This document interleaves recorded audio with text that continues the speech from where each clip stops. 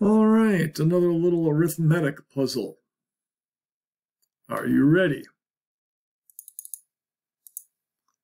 You're driving a bus.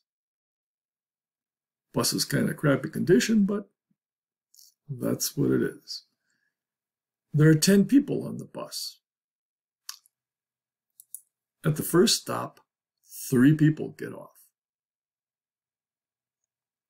At the second, and two people get on. At the second stop, five people get off. And seven people get on. At the third stop, two people get on and five people get off. How old is the bus driver?